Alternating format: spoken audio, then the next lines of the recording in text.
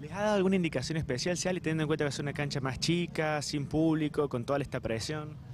No, no, no, o sea, ya hemos jugado en cancha así de estas dimensiones, por ahí no, no sabemos el estado en el que estará, pero sabemos que es una cancha chica, eh, sabemos que ellos son un equipo duro allí en su cancha, pero bueno, o sea, nosotros tenemos que, la idea de lo que nos transmitió, transmitió Cacho es seguir de la misma manera, con la actitud, con la concentración, con la determinación que estamos teniendo hasta ahora, que nos ha traído hasta acá a, a tener chance de ascender y bueno, no hay que cambiarla, ¿no? En realidad no es tan chica la cancha. Eh, tampoco es de las más grandes, pero es, más o menos como es como la boutique. Es más o menos esas dimensiones tiene, o sea que nosotros entrenamos acá, así que estamos acostumbrados. ¿Cómo, cómo se plantea el partido teniendo en cuenta la, la buena campaña que viene haciendo Maipú y, y la posición que tiene Talleres? No, igual que siempre, nosotros vamos a tratar de, de hacer un buen partido, de proponer.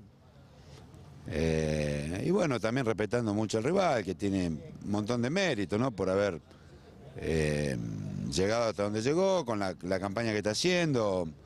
Es gente que hace mucho que está en el club, eh, los hermanos de Perduti, yo los conozco de, de- de hace muchos años, cuando yo trabajé en Mendoza, inclusive jugábamos partidos amistosos.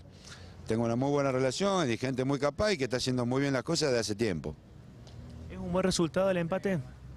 Es bueno sumar siempre.